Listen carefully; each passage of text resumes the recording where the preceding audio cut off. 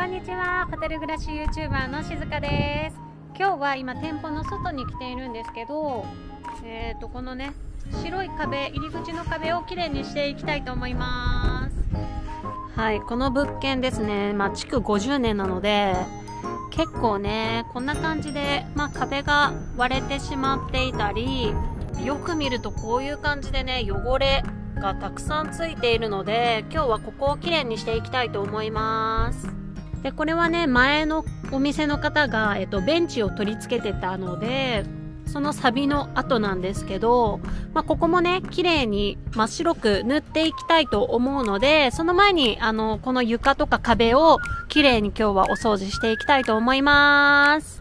実はねここ余ったコンクリートで 埋めてみました。ちょっと高さが足りないのでここも後々ね継ぎ足そうと思っています。こんな感じで、えっと、お掃除用具準備してみました。これは中性洗剤を水で薄めたものになります。これを使って汚れを落としていきたいと思います。実際にやっていきたいと思います。まずスプレーをかけて、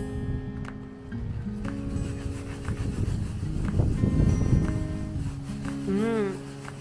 結構ね、こういう茶色い汚れが落ちてきます。ちょっと水で流してみよう。おお全然違うの分かりますか？ここも流して。はい。結構ね真っ白に見えてた壁もここだけ磨いたところはすごく白くなるのではいこれを全面にやっていきたいと思います。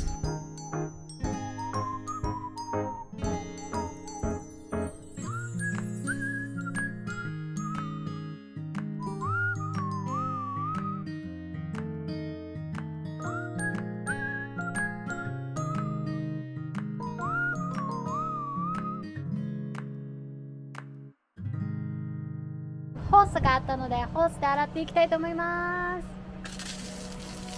おー早い。どんどん汚れが落ちていく。いい感じです。最初からこれを使えばよかった。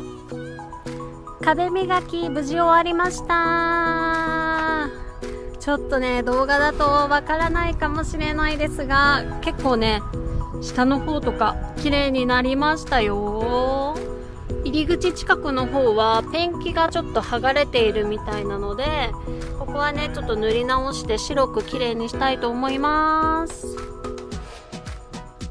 窓側の下の白い部分もお掃除しました。結構ねはいサビの汚れとかがついていたので真っ白くすっきりした感じです。これからここも白くペンキ塗りしていきたいと思います。でねお外でね作業してると本当にね通りがかってくれた方がたくさんね声をかけてくださるので本当に本当に嬉しいです。はい外から見るとねこんな感じ。はい入り口はこんな感じでサボテンくんを置いて皆様をお出迎えしたいと思います。